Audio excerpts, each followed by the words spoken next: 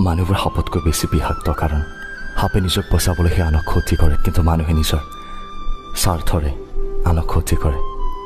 কাকো সাতন্য নকৰিব কাৰো তলত পৰি নাথাকিব কাৰণ যিমানে তল পৰি থাকিব মানুহবোৰ সিমানেই। সুযোগ লৈ আপোনাৰ লগত খেল খেলিবলৈ সুবিধা ল'ব।